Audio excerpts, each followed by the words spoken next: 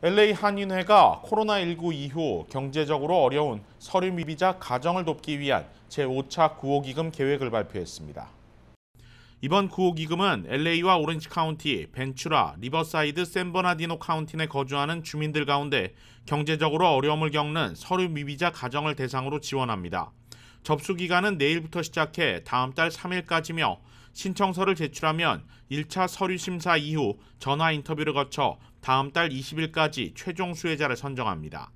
이번 5차 구호 기금은 나성 영락교회 측에서 5만 달러의 기금을 조성해 한인회에 기탁하면서 마련됐습니다.